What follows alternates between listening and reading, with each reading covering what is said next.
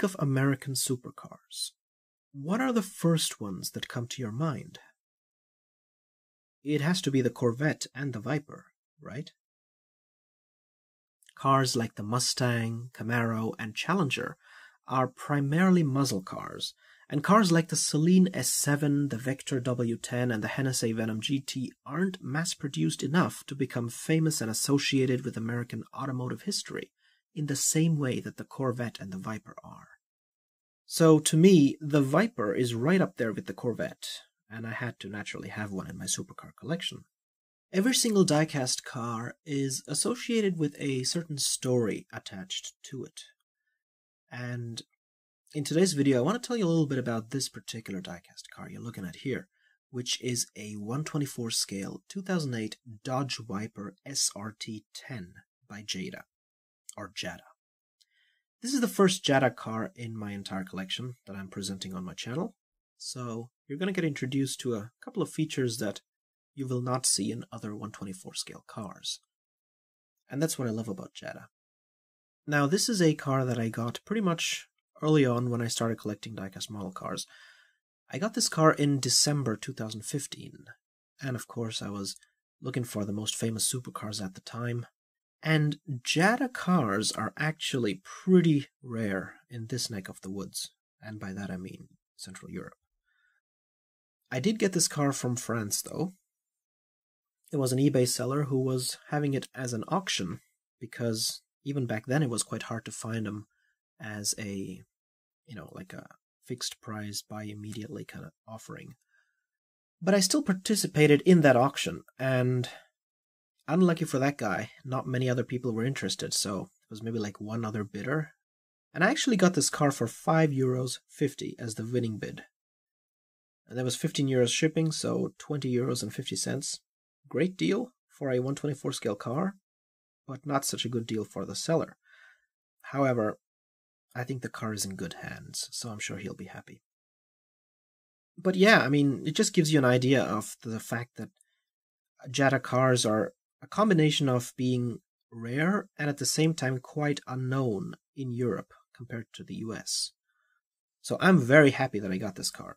So here's a look at the car in its box. As you can see, it says Big Time Muscle right here. It's part of that collection. And over here, you can see the front of this vehicle, looking very menacing. Here's a look at the back of the box original Jada style. And here is a look at the back, or the other side of the box. So I'm going to get this car out of the box, and I'll see you in a bit.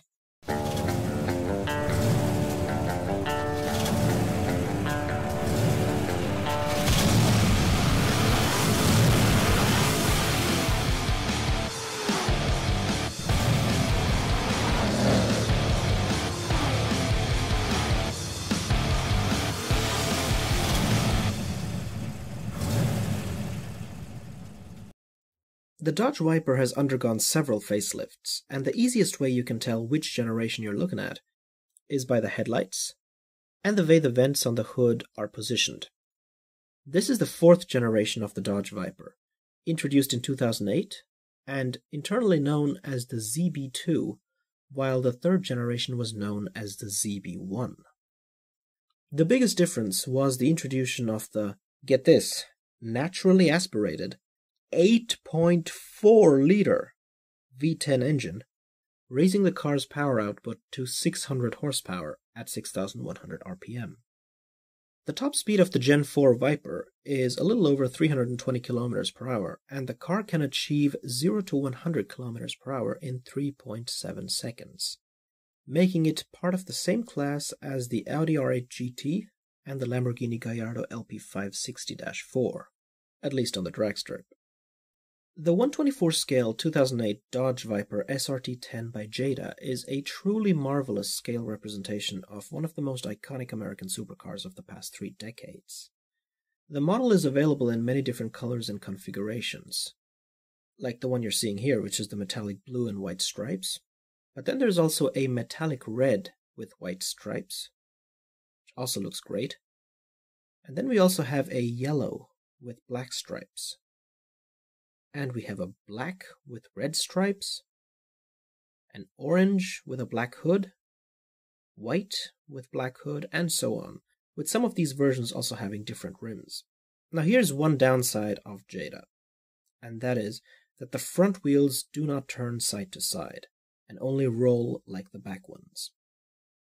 Respectively, the steering wheel also does not turn either. This is pretty much all negative aspects of the model car summed up because everything else is just gorgeous. To begin with, the metallic hue of the paint. This is typical for Jada. No other company can make metallic paints as beautiful as Jada can. Maisto, Motormax, etc., for example, just sprinkle in the metallic pigments which don't look that good. Another iconic thing about Jada's model cars are their distinct chrome wheels. Now, some people think these look gaudy and childish and ruin the look of the original car, but I disagree, especially in the Dodge Viper's case. The Viper never had iconic factory rims in the first place, and these detailed chrome rims give the model a true wow factor, you know, and make it draw plenty of good attention in any collection. Jada also pays attention to detail as ventilated brake discs and brake calipers are also present on this model. However, the discs do not turn with the wheel. The fact that apart from the doors, the hood and the trunk can also be opened on this 124 scale car, which is pretty rare, is another amazing thing about Jada cars. So to summarize, I can say that this model is amazing and well worth its price as long as you can get it for less than 30 bucks. So taking a look at the front of this model car, you can see that we have this iconic Dodge Viper symbol, which is that of a viper ready to bite. Below, we got these air vents, and unfortunately behind them, they don't have any kind of a grill texturing even. It's just some black plastic, plain plastic. So Jada is not that particularly good in terms of that kind of detail, but in all other aspects, they have done a pretty solid job with this model, as I will show you in a second.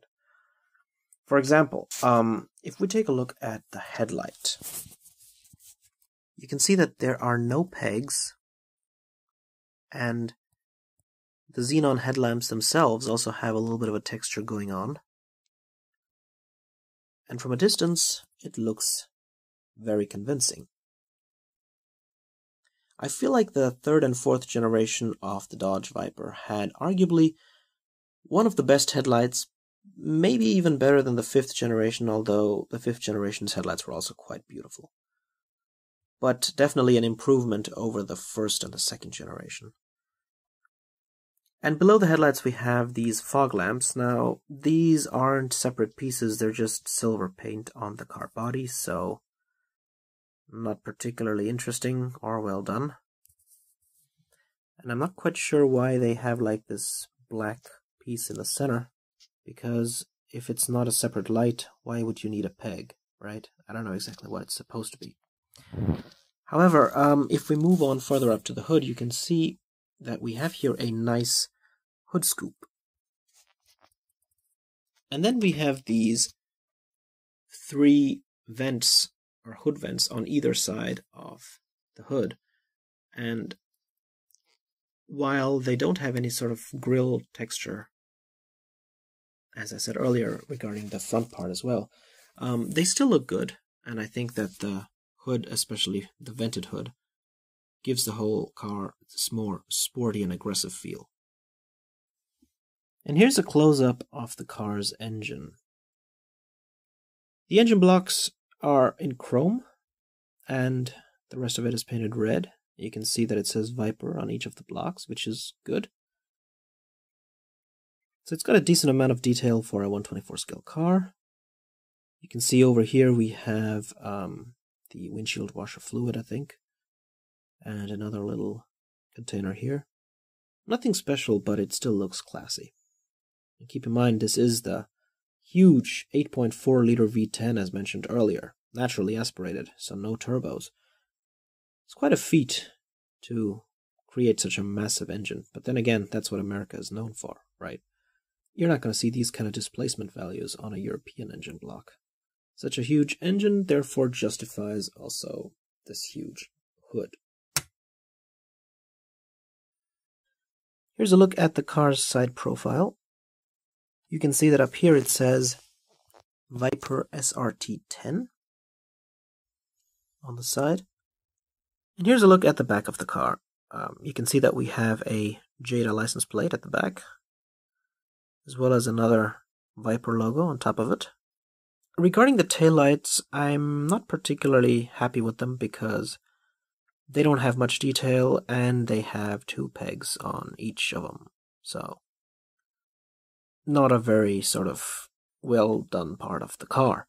And below the taillights, you can also see that we have another light. I think these are the cornering lights. And what's nice about them is that they're also a separate piece instead of just, you know, like a little bit of silver paint here. But on the downside, they also have pegs. So sometimes you got to choose whether you just want to have like a little bit of paint instead of an actual separate piece. Or if you do have a separate piece, you're going to have to live with a peg. And that's the kind of choice that you have to make when you're buying budget model cars instead of super expensive ones. But that's alright, because what I like about the back of the car most is the fact that the trunk can be opened. And so, you can see right here, it lifts up pretty high, and we have a fairly decent sized trunk with a privacy cover on top of it so that you can basically use this as a two layered trunk in the sense that you can put like some of your luggage down here and some up here. But if I turn on the flash, you can see that this part in the center doesn't have a depth or anything, so in reality there isn't too much space. But it's still nice. As we move on to the interior of the car, again you can see that the details are not particularly well done. I mean, if you look at the air vent over here, it's there, but it doesn't have much detail. It's not painted. And if you look at the air vents in there, they're also pretty rudimentary. As in, they don't have much going on. You could, of course, take this car apart and paint all these extra bits yourself to make it all look a whole lot better.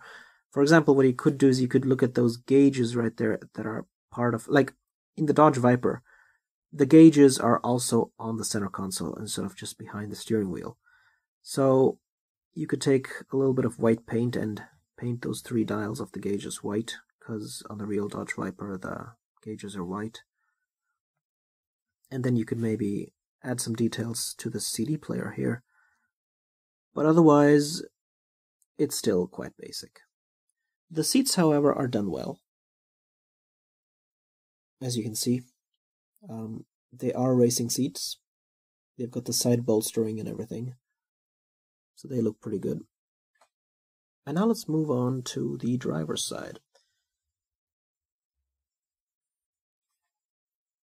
So at the driver's side, um, you can see that the floor pedals are right there, and they're made out of chrome, and they even have a texture to them, so they look pretty nice. Here's a shot of the um, instrument panel, which is in red, so kind of like that. Looks pretty good with the black surrounding it. And regarding the steering wheel, I mean, you can see that we have like this a typical Dodge Viper sort of steering wheel with uh, bolts and all that in the center. The steering wheel is done pretty well. And you also have the chrome shifter right there. So it's not a bad interior per se. I mean, you could always improve it with some paint yourself because the details are there. It's just that they aren't painted and everything is black. But again, um, you don't buy Jada cars because of the interior, right? I mean, you buy them because of the absolutely gorgeous exterior. So this is the interior, and while it could have been done better, I'm still pretty happy with it. And now let's take a look at the bottom of the car. You can see that it says Jada right there at the bottom. Number 91804, scale 124, Dodge Viper SRT 10, Chrysler 2008. Used day under license. That's quite funny. But yeah, I mean, check out the tire tread on these wheels. They're looking pretty good. We also have some um, chrome detail for the rear differential or limited slip differential because the engine's up front, so this can't be a transmission detail. Got a few more riveting here. Nothing special, but I mean, it's alright. Uh, where's the exhaust system? I'm just asking myself that. Let's see. I think it's I think it's this on the side. This is the exhaust of the Dodge Viper. Could have been done better, but yeah.